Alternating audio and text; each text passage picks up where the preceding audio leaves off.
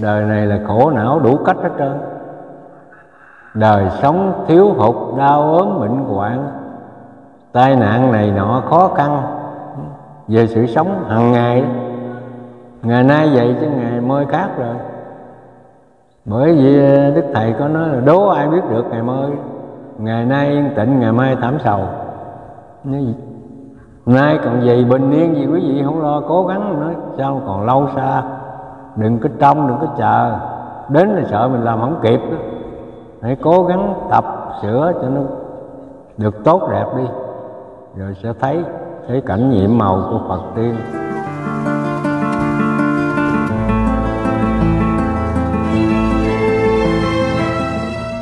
Trong cái câu giảng của thầy đó, tới thứ hai nữa là để có hỏi, nước kia lửa nọ tưng bừng thảm cho thế sự mới lẫy lừng nặng tay thời cũng tại không ai tu niệm. Nó theo đạo thầy rần rộ sao không có ai tu niệm? Cứ lẳng lơ nhạo biếng khoe khoang. Đến nay đã đến là buổi tai nạn rồi. Tam thiên lục bá cấp tràn hại dân. Nhưng mà à. cái cuộc là những cái cảnh khổ chiều mai đưa đến.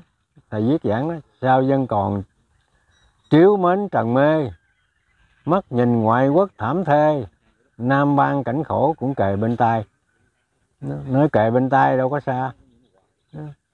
Chiến tranh thế giới nó giành giật nó giết chóc nó, nó tàn sát lẫn nhau. Thì mình à, thầy cũng nói nhiều điều hết rồi. Nam mô a di đà phật. À, là kính đức phật là kính đức thầy. À, hôm nay à, nhân duyên à, gặp được à, ông sáu hòa hảo để hỏi đạo đức thưa ông sáu thì à, năm nay là năm giáp thìn. À, thầy nói là năm thìn nhiều trận gió mưa mà sao năm nay không thấy gì đâu mà, à, mà gần tháng 3 tháng 2 tháng 3 gì mà sao mà nắng quá nắng không sao mong ông sáu gặp ông sáu nay ừ. mong chia sẻ Phật pháp à, cho bà con trong nước và ngoài nước nghe để ừ. cùng tu cùng tiếng nam mô a di đà phật. Nam kinh thịnh nam mô bổn sư thích ca mâu ni phật nam mô a di đà phật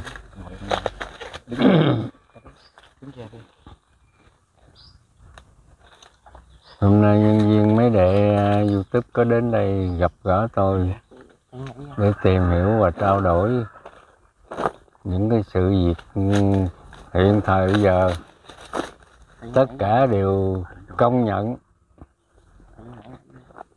Đều là biết rõ, thấy rằng trước mắt hết trơn rồi, cái tình hình về cái khí hậu bây giờ rất là là cay nghiệt.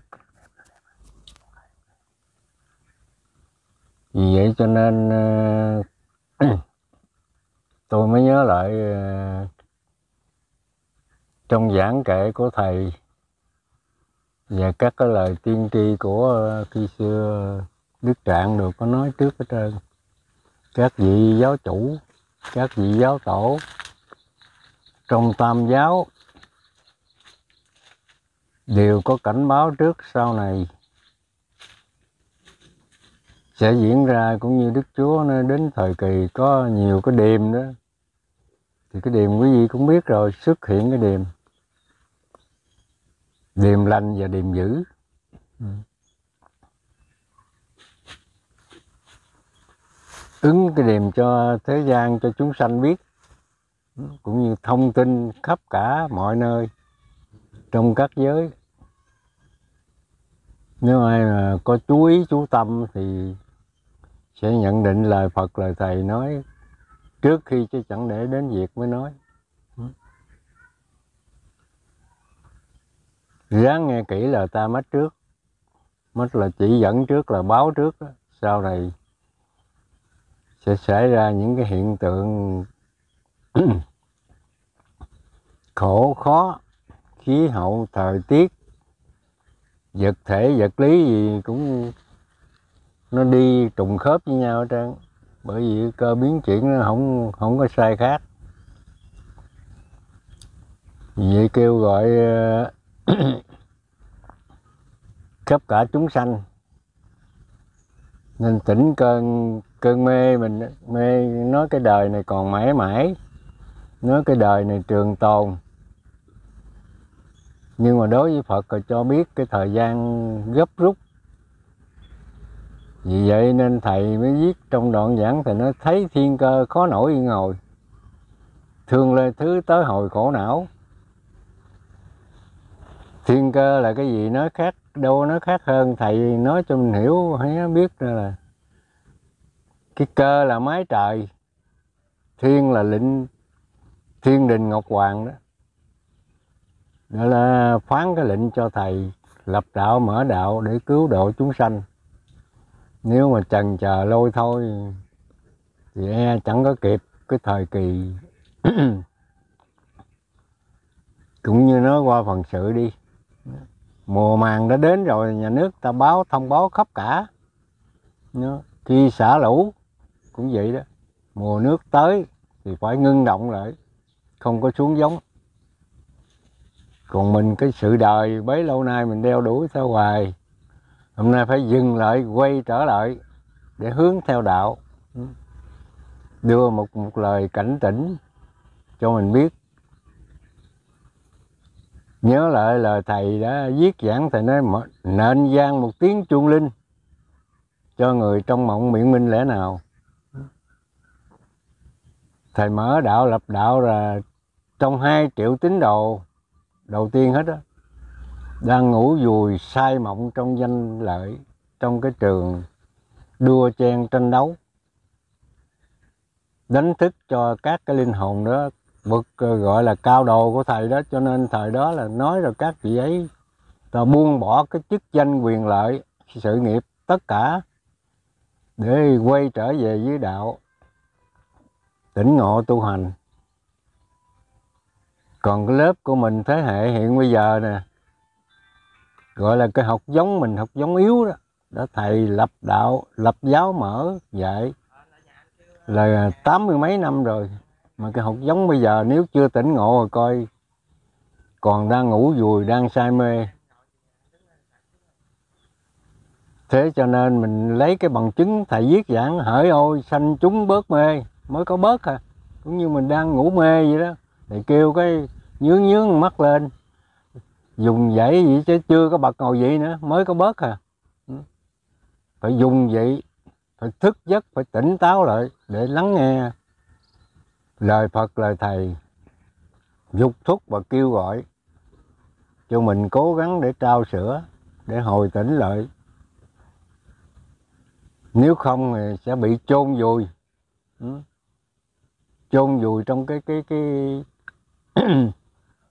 cái bựng đất nè cái ổ chim đời có bám trên cây là gì đó. Mình bám trên cái cái quả địa cầu này.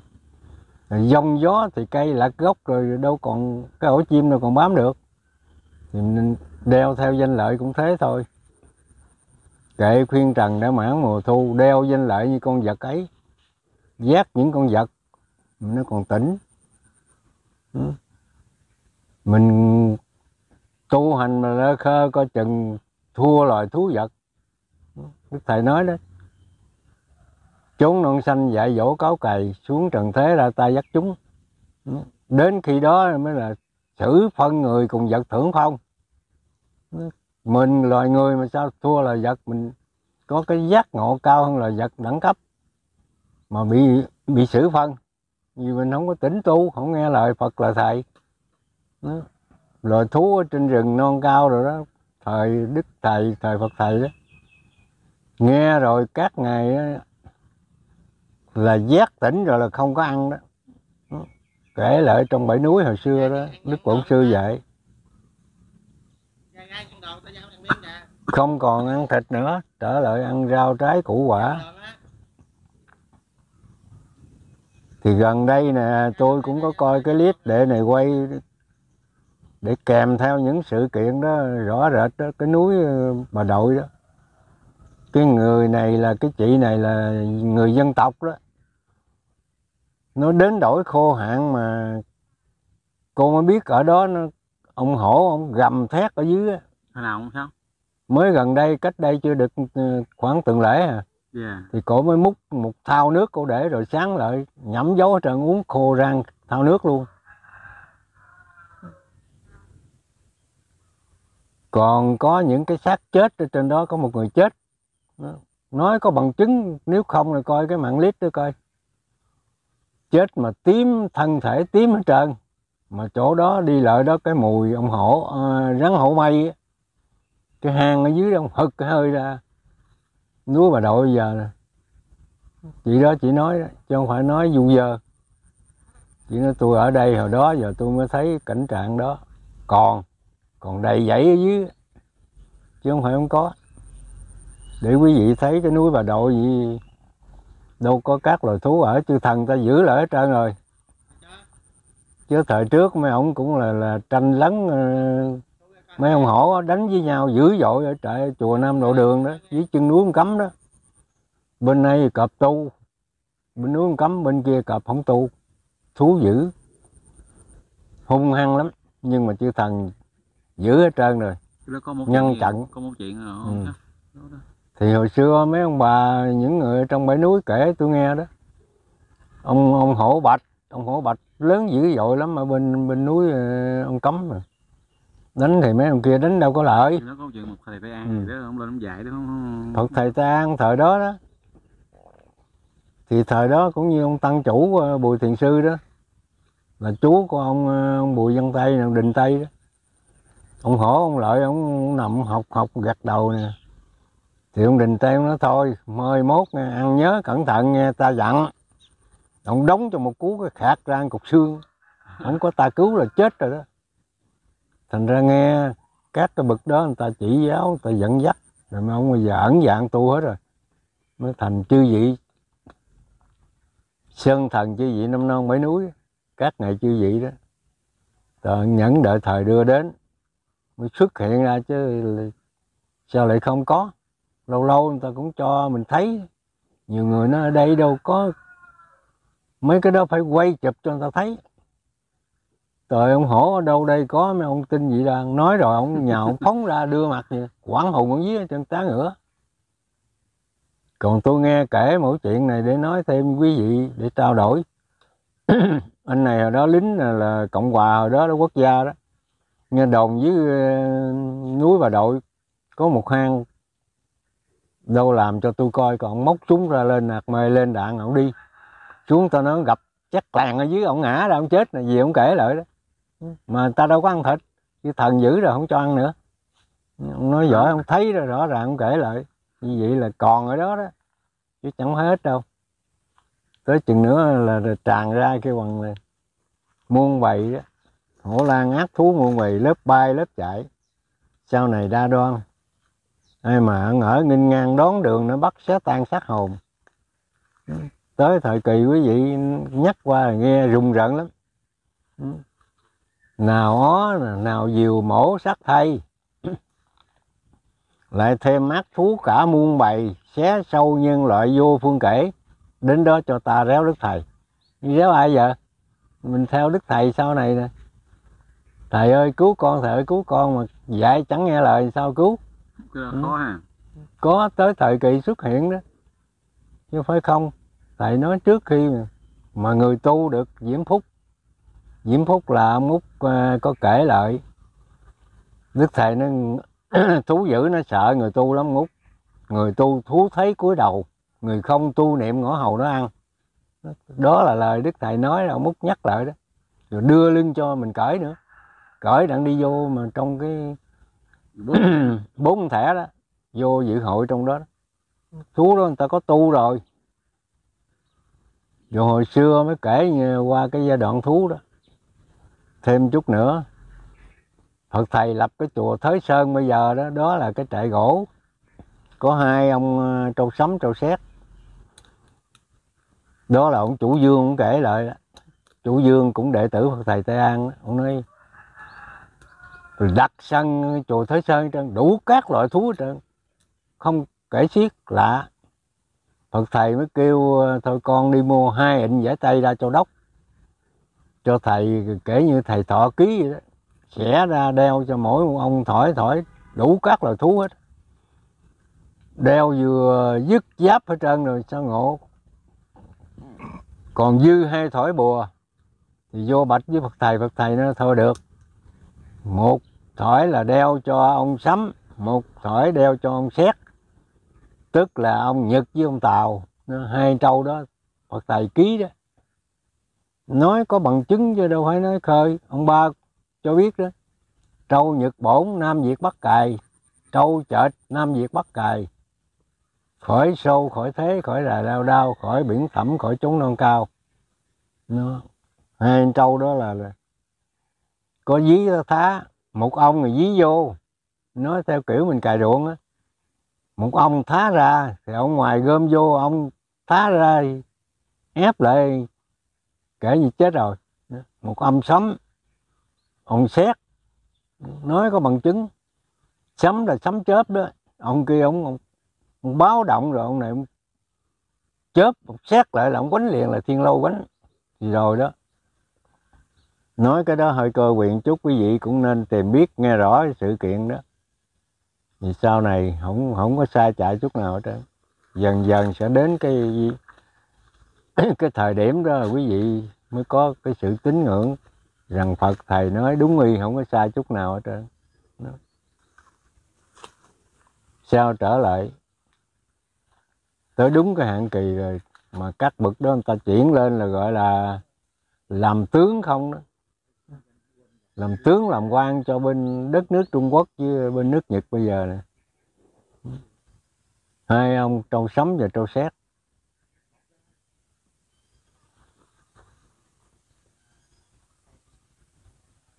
bởi vì mới nói cái cầu thế gian cho khá cởi trâu, hai sừng nó nhọn nó đâu để mình. Ừ. lý nói cơ đó. Mình là bắt cá hai tay thì kể như rồi, mình theo một thầy một đạo thôi không theo ai nữa, không nghe ai nữa hết trơn. Ừ. Một đời một đạo đến ngày chung thân. Chết chứ con không bỏ đạo thầy. Mình là người tín đồ đã đầy cái sự tín ngưỡng, cái sự ờ, tôn thờ phật thờ thầy. Thì chí quyết chọn lấy một con đường rồi. Đường mình cứ đi tới mãi mãi, dầu chậm dầu mau tùy nơi khả năng, tùy nơi cái hoàn cảnh, tùy nơi cái ờ, điều kiện và sự sống của gia đình. Chí quyết theo đạo, theo thầy không bao giờ bỏ. Chết chịu chết cho đạo không bỏ. Thà bỏ thân, bỏ xác chứ không bỏ đạo. Vì mới mình mới trung thành mới là chí quyết theo thầy. Một đường hướng.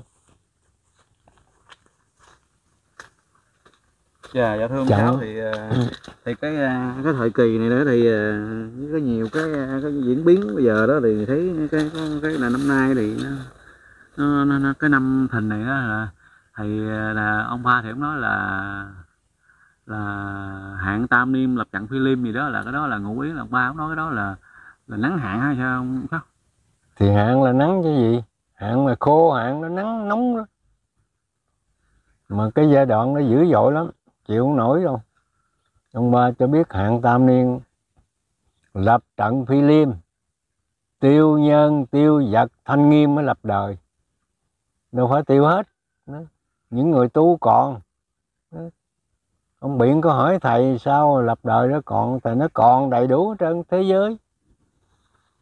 Vừa trong đồng đạo mình cũng vậy nè mới là chặt đường đi vô cái đại hội gọi là nhà bàn văn giáo đó. Ừ. Qua lộ văn giáo, vô thường quyết lưu. Nó ngó lại thì trên mình toàn là máu không à. Mà còn còn những người chết kêu bằng dọc đường hết trơn. Mới vô lập hội trong vô cửa à, đó à, văn giáo mới đi thẳng vô tới trong kia là đền thất sơn đó. Là điện của minh dương đó mình người được sau này, mấy người còn được sát thân. Vô cửa lọt vô cửa rồi có vé rồi. Thì đi vô trong điện điện minh dương đền đó. Theo phật giáo, sau này cao quý. Được nhìn xem ngọc đế sử phân là cha ngọc hoàng đó. Rồi lại dựa kề bệ ngọc cát lân. Bệ ngọc là ngai vàng của vua đó cát lân là những cái cái danh mục đó gọi là đài cát của quan tướng. Các vị quan cựu đó sao có đầy đủ quá không có thể tưởng tượng nổi. Toàn là bằng bảy báo không à, chứ không có xài bằng sắt hay thép hay bê tông gì đó quý vị coi Phật đâu bao giờ nói láo đâu. Ừ. mà so với đời thượng quân đó là ông ba ông nói nghe thấy ham thầy cũng nói đó là cái cõi tiên ở trển mà chưa có bằng chưa có bằng cái đời thượng quân Phật mới cho mình được cái cái ưu đãi cho mình được hưởng cái cái ân huệ đó, đó. Nhà tiên cửa thánh nhà thì tiên cất cho mình cửa thì cửa thánh. Bởi trong đó là, là bảy núi. Là bảy cái núi đó là trong các cái đơn vị đó là đền vua, đền của quan, tướng, rồi của dân.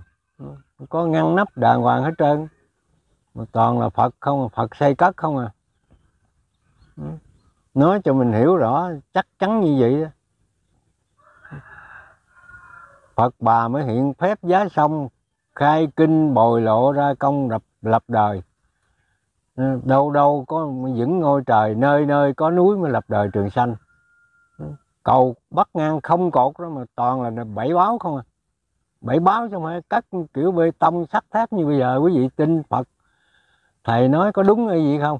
Tới chừng đến khi đó là sẽ thấy thấy rõ ràng gì rồi.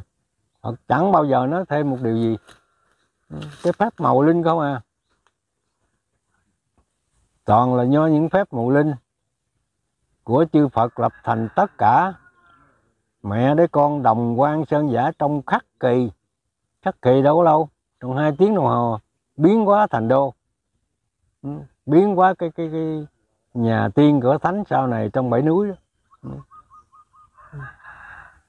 Nói cho quý vị nghe, mừng đó gắng ừ, tu cố gắng trao dồi, lo. Công phu bái sám, lo tưởng tin phật trời, lo làm hiền lương. Thì tin chắc rằng mình sẽ có được ờ, cái hy vọng là dự đại hội mình sống trong đời thượng quân thánh đức. Mình làm dân phật quốc cũng được nữa, hưởng sự thái bình. Đời này là khổ não đủ cách hết trơn. Đời sống thiếu hụt, đau ốm, bệnh hoạn, tai nạn này nọ khó khăn. Về sự sống hàng ngày đó. Ngày nay vậy chứ ngày mơi khác rồi. Bởi vì đức thầy có nói là đố ai biết được ngày mới ngày nay yên tĩnh, ngày mai thảm sầu. Nay còn gì bình yên gì quý vị không lo, cố gắng nói sao còn lâu xa. Đừng có trông, đừng có chờ. Đến là sợ mình làm không kịp đó. Hãy cố gắng tập sửa cho nó được tốt đẹp đi. Rồi sẽ thấy thấy cảnh nhiệm màu của Phật tiên lập ra cho mình hưởng được cái ân đức, ân huệ đó. Cảnh sung sướng đầy đủ khỏi lo ăn, lo mặc, khỏi sắm sửa gì đó. Phật lo hết trơn. Chớ có đem lòng lo đói, lo no, ông ba nói đó. Hãy bền lòng niệm Phật thì Phật lo cho mình. Lo sẵn đó, sau này đó. Như trước mắt đã lo cho mình, cuộc đời sống được bình yên nè, khỏi có tai nạn, khỏi bệnh hoạn, khỏi có khổ sở gì. Là mặc dầu không có cao sang nếu quý vị nhớ cái điều đó thì cố gắng làm. Mãi mãi ngày này ngày khác, năm này năm khác. Ai nấy cũng trông chờ. Trông chờ mà không làm y thì đến khi đó kêu bằng lấn quấn lấn quấn, chưa có xong, lừng chừng đó không có xong gì rồi. Mình có được thưởng không? Chắc không được. Làm chưa có vuông tròn thì không được. Cố gắng làm tròn đi cũng như công việc đó, thầy phán giao cho mình nó làm tròn rồi mình phải phải tự do. Có có chờ nhất định là cũng phải hưởng à. Còn làm mà bề nhê bề nhê đó là lôi thôi lôi thôi coi chừng. Tới việc là lấn quấn quấn là không có kịp thì mình chắc phải phải rớt rồi phải hư rồi không được. Đã biết theo đạo theo thầy biết ăn chay làm lành. Biết niệm phật. Biết làm cái điều tốt đẹp. Thì hãy cố gắng làm tới mãi mãi. Đừng thay đổi cái ý chí của mình. Mà cần phải, đâu phải gọi là một cái sự việc ăn chay, làm lành, phước thiện, đi chùa, đi núi. Chưa gọi là đủ. Phải cần thêm mà là mình biết tự giác rồi phải có đến phần giác tha là nhắc nhở huynh đệ đồng đạo cũng như trong đồng môn của mình đó, tín đồ của thầy đó. Để kêu gọi nhắc nhở khuyến khích để cùng tu cùng tiến. Chứ mình mà, mà mình đi lên bỏ người đi xuống mình lên sao đành? Mình lên là mình đậu mình đạt được rồi. Còn người đi xuống là tội lỗi khổ sở mình đâu đành. Vì vậy cho nên buộc lòng phải nhắc nhắc nhở huynh đệ để cố gắng làm những sự việc hiền lương như vậy đó. Thầy dặn dò mình trong cái bài mà dặn dò bổn đạo ta giàu có cách thông hương dạng dân cái chữ hiền lương mà làm. Nó làm thế nào gọi là hiền lương đúng đúng bậc. Đầy đủ thì gọi là hiền lương. Cứu lương hiền chẳng cứu người hung. Kẻ gian ác đến sau tiêu diệt. Đâu đó rõ ràng là, là thưởng phạt hai đường tỏ rõ. Chứ không nói gì xa vời hết đó. giờ việc làm của mình coi đúng hay sai.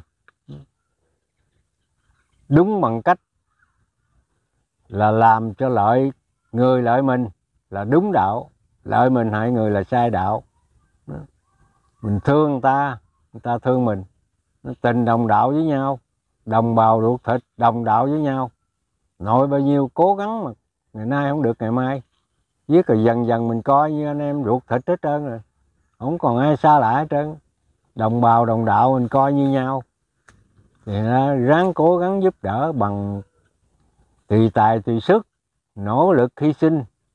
Tất nhiên mình không có đủ cái cái sản nghiệp lớn thì không làm việc lớn.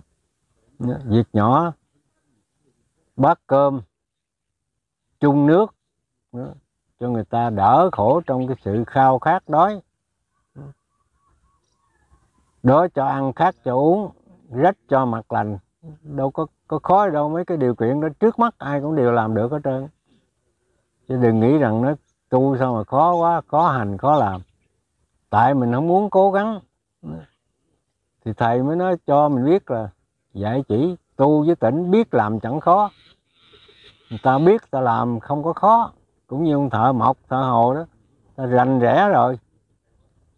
Thì đâu có khó gì đâu còn mình biết hiểu đạo đâu đó đàng hoàng đầy đủ rành rẽ thì nói qua cái đạo việc làm nào tôi cũng có thể làm được. Rành rồi. Cũng như đường đi nước bước mình đã rành rồi. Ô, đi con đường hướng đó trong cái khuôn khổ của đạo đức từ đâu tới đâu chỗ nào đến chỗ nào. Mình hiểu rành đường mới thung dung không biết hướng thành ra bối rối không biết hướng là không biết cái cái, cái cách hành đạo đó. Phải làm cái gì gì làm cái nào làm sao. Quý vị nghe rõ những lời tôi trao đổi bằng cái thành thật và tâm ý. Bao nhiêu cái sự là tìm hiểu gom góp chắc mót dành dụm. Chưa bằng ờ, cái câu là đức thầy nó gắn công trình dạch lá mới tìm sâu. Cái tỉ mỉ của đạo đức là dạch lá để tìm sâu.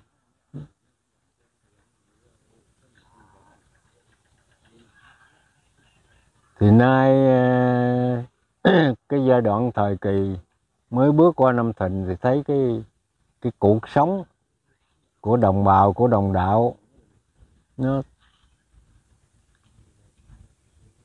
trước mắt giờ là những cái cảnh khổ chiều mai đưa đến thầy viết giảng đó sao dân còn chiếu mến trần mê? Mắt nhìn ngoại quốc thảm thê nam ban cảnh khổ cũng kề bên tai. Nói kề bên tai đâu có xa. Chiến tranh thế giới nó giành giật nó giết chóc nó, nó tàn sát lẫn nhau. Thì mình à, thầy cũng nói nhiều điều hết rồi.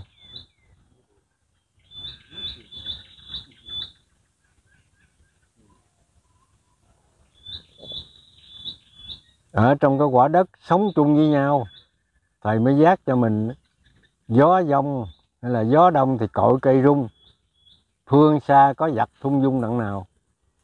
Người ta trước rồi sau cũng tới mình, không có khỏi. Khắp nơi khói lửa mịt mù đó, quý vị thấy chưa? Nước nhà mình như cái trồng trứng gà đó. Việt Nam đã bị dí cù, thấy chưa? Thì nó quấn nó, nó, nó tham nó giành cũng như nó lấy nhà giàu trước thì, thì nhất định nhà nghèo khá khá nó cũng cũng tới đó nữa. Chứ không có không có sai khác không có chạy khỏi. Giàu muốn hay giàu không quý vị. Nên nhớ những lời Phật thầy chỉ giáo cho mình để mình có cái kinh nghiệm. Thành thử cố gắng làm cho có đức hạnh đầy đủ. Nó có thể là chở che mình một phần. Người thứ hai nữa nhờ ơn trên trời Phật, thầy tổ, các vị chư quan cựu đó, sao mới đến lúc là những con hiền không có bỏ rơi và cứu độ mình mãi mãi. Đối với tất cả quý vị cũng như chung đồng đạo nhau, thầy nói cái mắt phàm mấy ông thấy không xa. Phật mới thấy xa, thiên nhãn của Phật đó. thấy xa và hiểu rộng, nói cái chuyện cho chuẩn bị để mà cố gắng đừng có hứng hờ trao dồi cũng như mình tạo một số vốn. Thì đến thời kỳ đó mình đem ra mình xài cái phước đức nó vậy đó. Chứ không có gì khác lạ. À, thưa ông sáu thì à, đức thầy á thì đức thầy nói là kỳ xã tổ nay còn một lúc. Sau à, không tu đặng có huẩn nhờ Ừ. mà có một chỗ thì thầy nói là 10 phần hết 7 còn 3 hết 2 còn 1 mới ra Thái Bình thì Ừ. bây giờ thấy sao mà bà con ta lúc trước tu quá tu bây giờ sao mà thấy tu ít quá Ừ. không sao Ừ, thì thời gian vắng thầy vắng mặt lâu xa rồi mình trông đợi cũng như đi đi đường xa mỗi gánh cái buông Dạ. buông bỏ đạo đức không còn trai giới không còn cố gắng không còn làm đeo đuổi như trước kia nữa cái hiền lương nó giảm bớt rồi. Giảm bớt cái sự hành đạo. Thì so với trước mắt hiện diện tuy là đông thấy rần rộ rồi đó chứ người cố gắng trao dồi ít ít lắm không ít. Không có được nhiều hiếm hoi lắm. Bởi vì à, thầy đã nói nhớ lại cái, cái giai đoạn mà thầy nói dương miệng về cái xoài đó. Dạ. đó, bẻ xúc lòng rồi đến giai đoạn vú vú mà còn úng thúi đem chân lên bàn thờ đó là mới chắc còn đó. mới còn nguyên dạng đó thì kinh nghiệm vào cái đó là mình biết đầu trên sớm dưới ba bên bốn phía rồi bởi vì ờ, sống trong thế hệ vật chất vật chất nó, nó, nó lôi cuốn nó thúc đẩy nó dẫn dắt nó xúi dục. Rồi mình không có cái tinh thần đạo đức, không có lý trí nhận thức. Dễ bị nó cám dỗ và lôi cuốn. Thêm ngoài nhiều thứ cuốn lôi, dễ làm ý muốn con người thêm hơn nữa chứ không bớt. Thêm chứ không bao giờ bớt, bởi vật chất nó tiến mạnh mà. Thì tinh thần bị đẩy lui, mà tinh thần mình vững chắc nữa, không bao giờ xô, không bao giờ đẩy mình lui sụt được. Đúng cố gắng vượt vượt lên trên hơn nữa. Có chừng nào lại càng nung nấu thêm cái tinh thần, ý chí, mới vượt qua nó, không bị nó cám dỗ, lôi cuốn, lấn ép cỡ nào nữa. Tình thế, cách gì, ra sao, dầu có đổi thay, tấm lòng nhân chẳng đổi.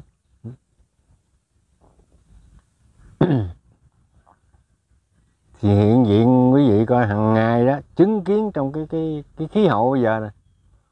Hồi xưa thời tôi nhỏ nhỏ 3 giờ là lắng dịu đến 4 5 giờ là mát rồi. Bây giờ 5 giờ rồi mà cũng còn vẫn nắng hừng hực hừng hực vậy đó, cũng như trong cái lò lửa. Bởi vì các nhà bác học khoa học thì nó báo nó không nói thẳng hơn như Phật như thầy. Nó nói quả đất đã ấm dần lên. Nó nói vậy thì quý vị biết cỡ nào rồi nó tăng lên cái độ nóng đó. một ngày là, là đến đổi là phải sức chịu đựng không nổi. Thì thành ra mình không có ý chí rồi không có bền vững được thì thành ra hơi nản lòng. Đừng thối chí cuối cùng sẽ nên đừng có nản lòng. Khó chừng nào lại mừng lời hân hoan chừng nấy đó là, là, là thầy có nói giữa miệng đài đó những cái lời đó là tôi còn nhớ. Đời nó, nó đau khổ khó khăn tai nạn dập dồn cách này cách nọ là mình mày nên mừng. Mừng là lời phật lời thầy nó rất đúng.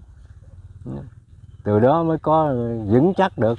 Rồi một thời kỳ càng khó khăn hơn nữa thử mà kêu bằng vàng cách lửa vàng nào cũng thiệt. Đúc vô lò mới biết sắc gì thầy nói đó. Ừ, cái đạo là ý, ý, ý nghĩa như vậy đó. Ừ, tánh là là kêu bằng cứng rắn như vậy đó cũng như mà vàng thiệt. Ừ, thép thiệt rồi chui vô lửa. Vàng thiệt đốt cỡ mấy nữa. Có thử vậy mới được chứ đâu phải không có thử mới biết dở hay chứ cái chuyện đời nó nó là hành đạo hay tu mà em xui hoài đâu có ai hơn ai. Cái khó người chịu đựng được mới là gọi là hay. Kiên trinh mà chịu lúc nàng tay, dẫu có gian nan dạ chớ này vàng đá bao phen cơn nước lửa, chì thao lắm chuyện lúc non ngày bền gan chờ đợi ngày xâm hiệp gắn chí trong mong bữa tiệc khai.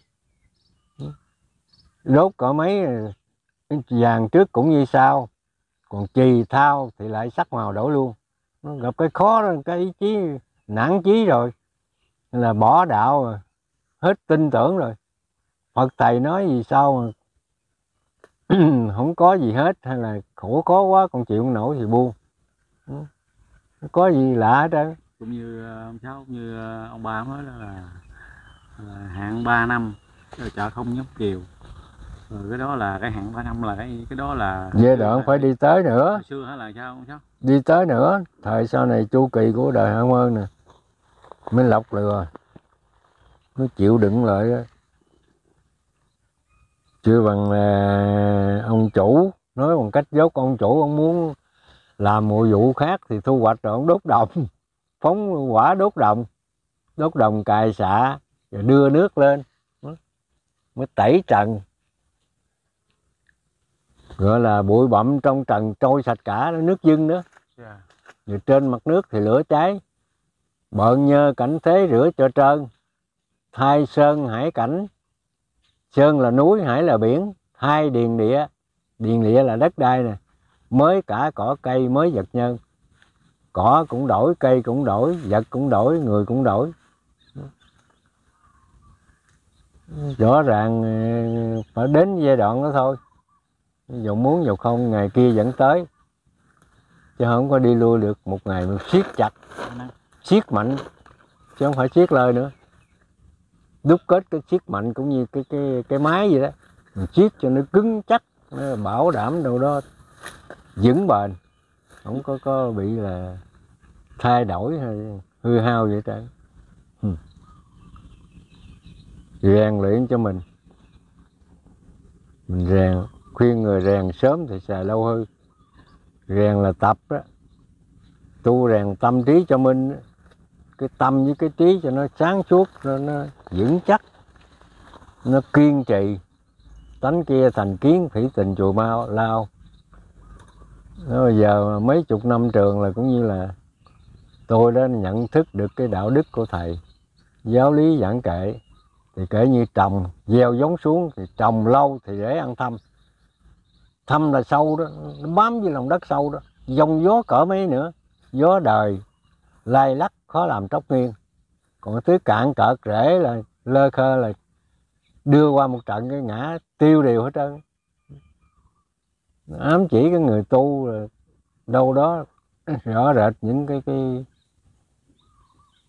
cái vấn đề hành đạo hay những hạng người gì đó. Bốn mùa không thay đổi yeah. Dạ. còn Thưa cái loại giáo, như ờ, đức thầy có câu là ước mơ thế giới lăng hòa hảo à, nhà phật con tiên hé miệng cừ và ngụ ý là nói cái, cái đoạn đó là đức thầy nó là như thế nào ông sáu nam mô là phật nam mô a di đà phật không phải câu nói đó thầy ước suông phải có đến giai đoạn đó bây giờ trên năm châu bốn biển đều nghe cái đạo Phật giáo hòa hảo hết trơn rồi. rồi cuối cùng phải quy ngưỡng về bởi vì Đức Phật biết cái cơ duyên gọi là mở đạo, lập đạo. Xuống trần dạy chúng sanh kỳ này, phải phán xét, coi cái đất nước nào, cái chúng sanh nào, thế giới nào có duyên sâu với Phật, là mới xuống mở đạo cái đất nước đó, dân tộc đó, xứ sở đó. Thì hôm nay trở lại ờ, một ngày tới tới, mãi mãi sẽ ứng hiện được cái câu đức thầy để ước mơ thế giới lăng hòa hảo, nhà phật con tiên hé miệng cười. Khắp bốn biển liên dây hòa hảo nữa.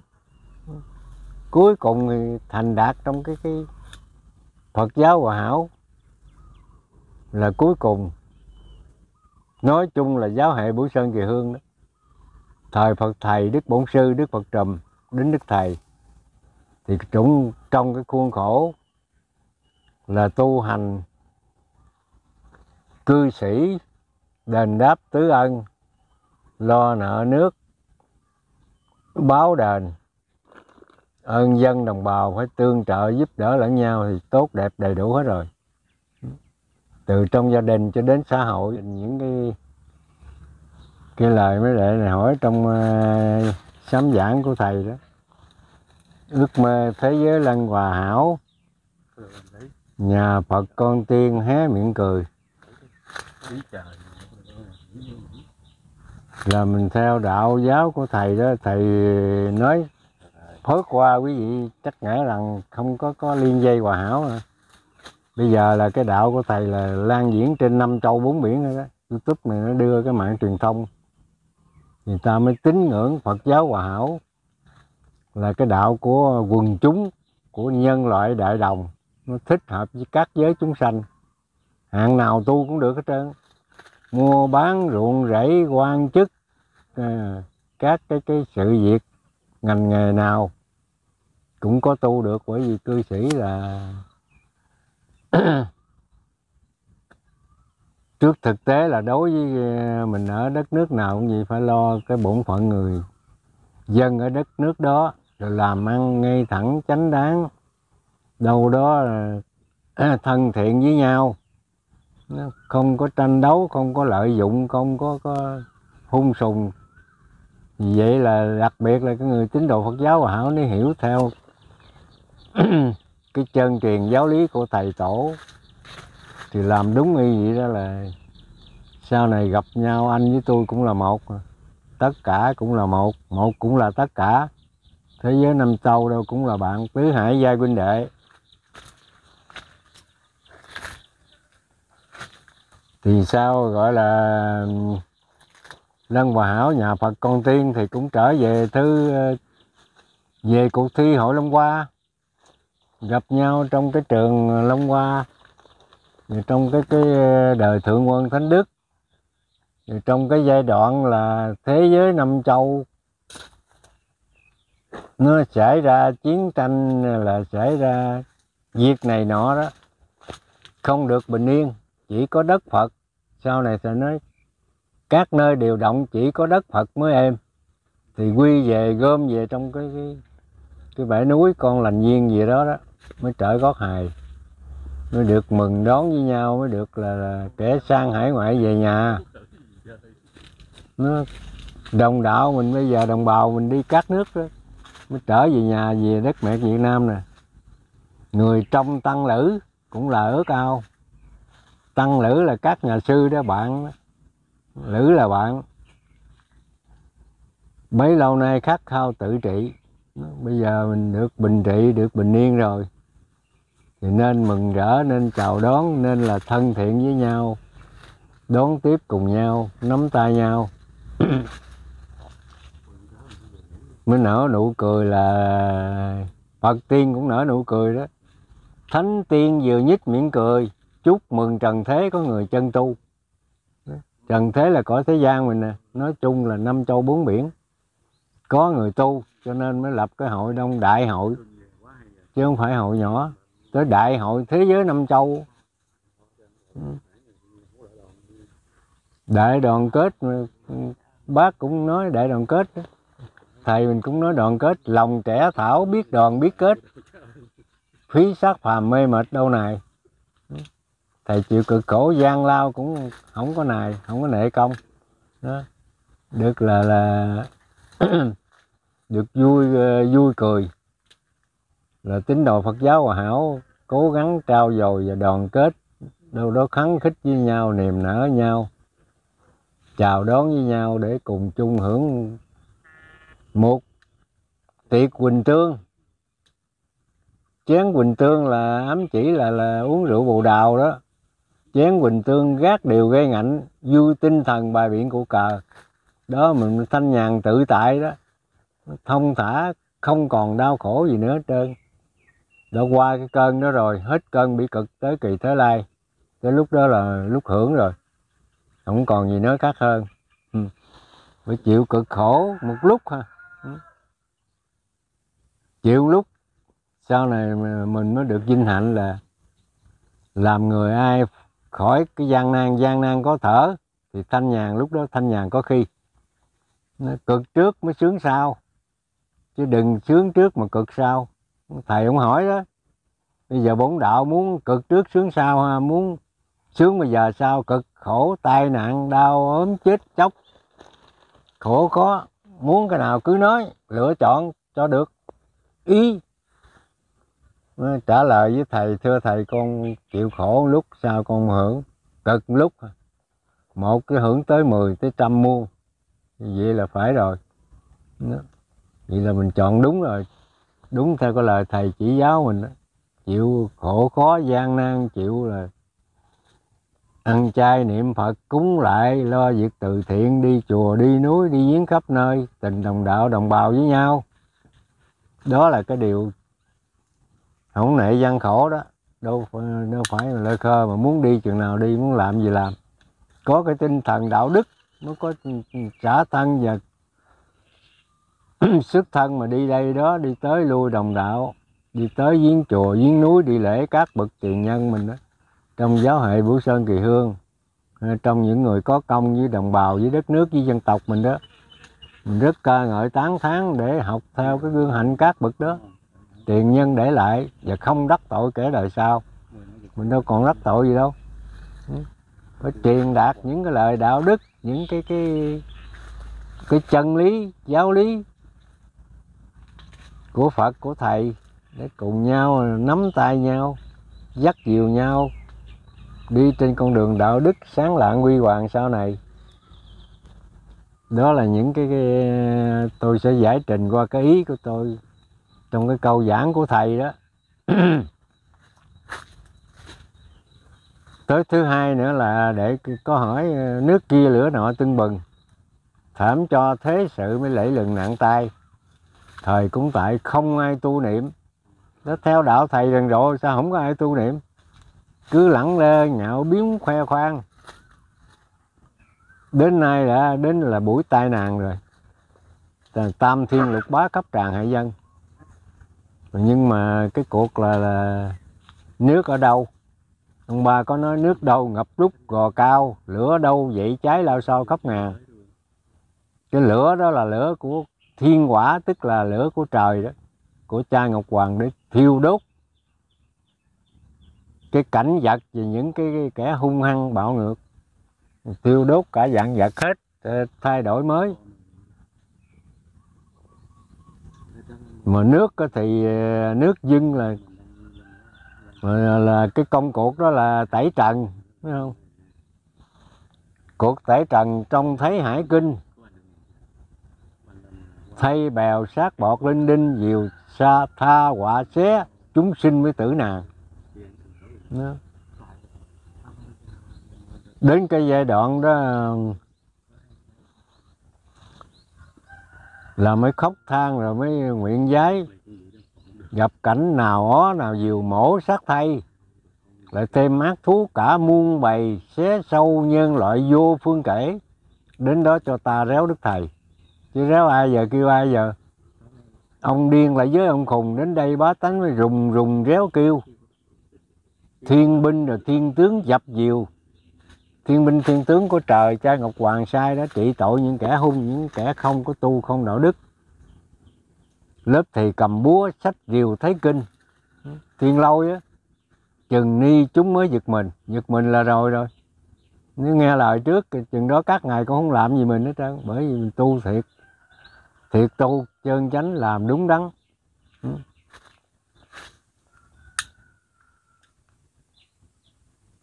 Mà đến giai đoạn đó rồi, đó là ông ba có nói, nghèo sắm xuồng, giàu có sắm ghe. Chờ cơn nước lụt, chèo te để lên dòng.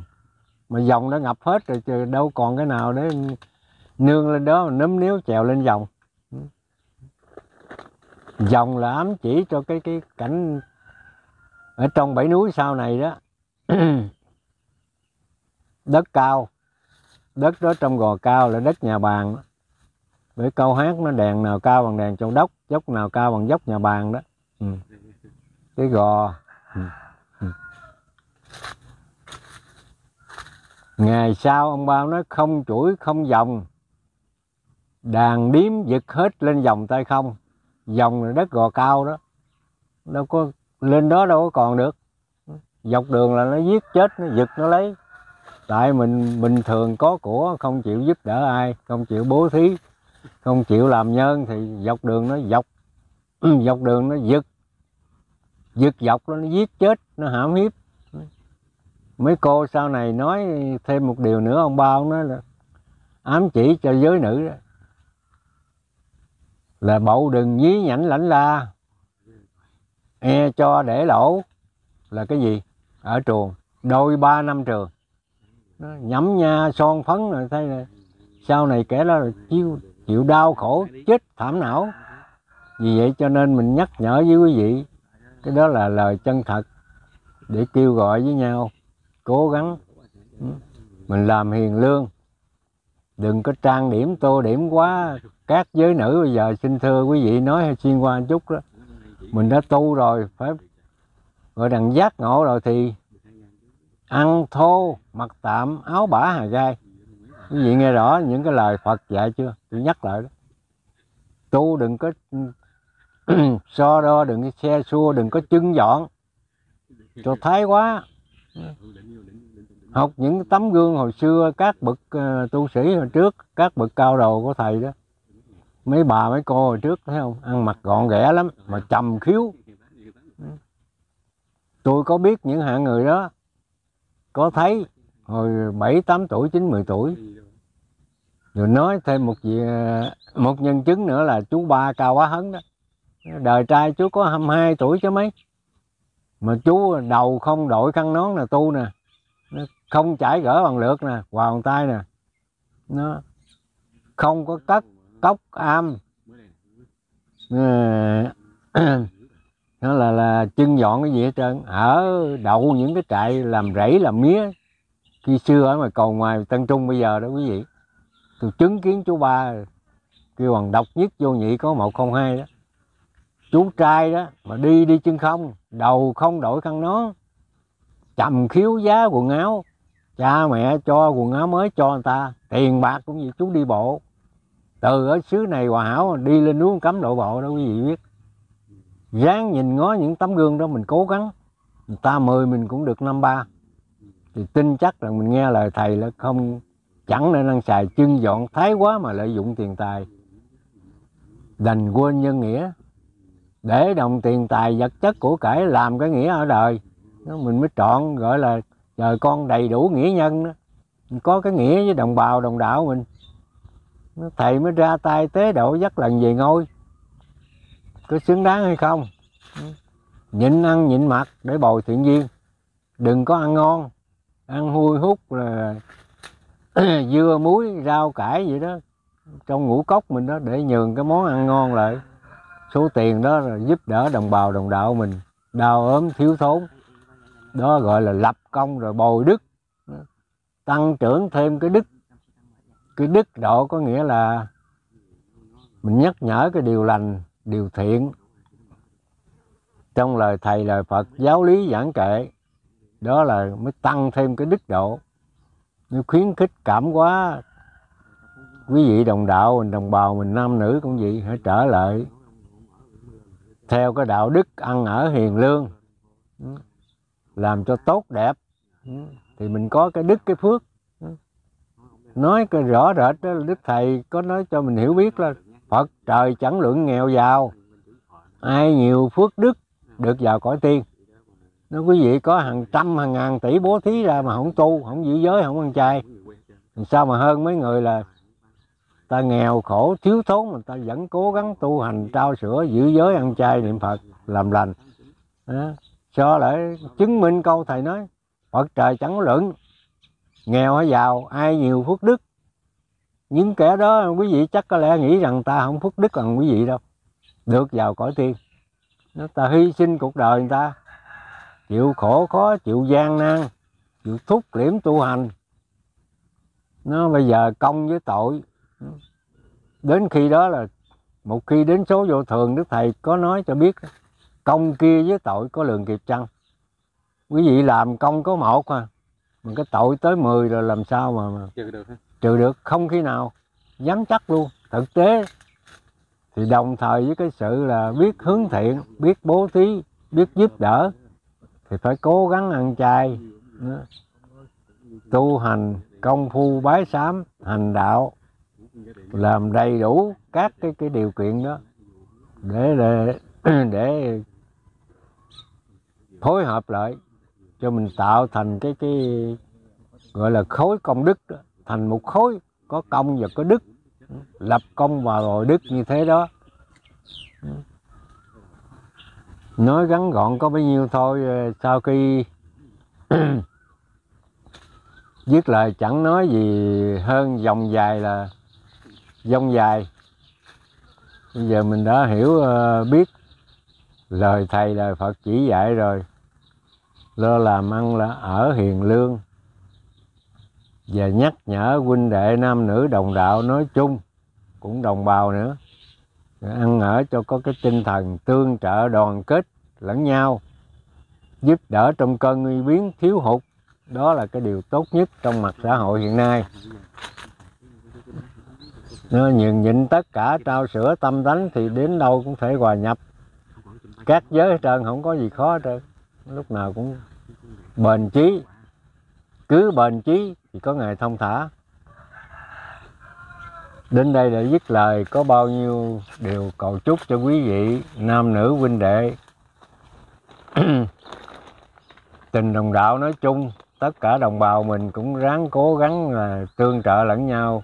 Cái tình đồng bào ruột thịt với nhau da vàng máu đỏ để cuộc sống cho được uh, ấm no trụ phú phát triển thêm lên. Và chúc quý vị thân tâm thường lạc được an vui được à, là cố gắng không có cái gì phải bối rối trong cái đời sống mình hết trơn. Vui vẻ thanh thản cuộc đời thì có được hạnh phúc. À, đó là điều duy nhất. Nam mô bổn sư thích ca mâu ni phật. Nam mô a di đà phật. Ừ.